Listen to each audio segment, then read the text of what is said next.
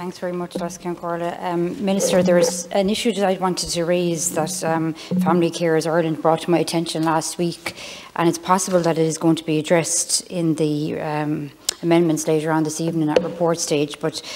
uh, in case it isn't, I just wanted to put this on the record and see if, if it's not going to be addressed um, this evening, is it possible to have it addressed um, maybe through the Seanad um, at the next stage. So um, what they're actually saying, I'm just going to, to read out what, they, what they've asked, is that they, well, first of all, they want to say they welcome the work-life balance and miscellaneous provisions bill, which includes a number of important provisions for family carers. However, they're concerned with a particular aspect of the bill,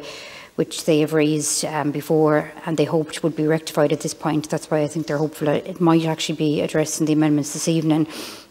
So their concern relates to the specifications set out in the bill regarding people for whom unpaid carers leave days or flexible working can be applied for.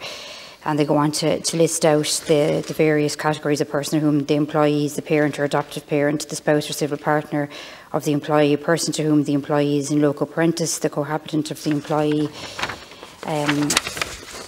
a parent or grandparent of the employee, a brother or sister of the employee, and a person other than one specified in any of the paragraphs H to F who live in the same household as the employee. So basically what their concern is the definition excludes applications in respect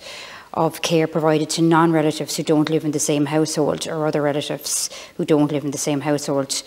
Um, so they feel it's at odds with carers allowance and carers benefit legislation and the Carers Leave Act 2001, which allows a person to take carers leave and receive a care-related payment for a neighbour or friend and relative, including aunts, uncles and cousins.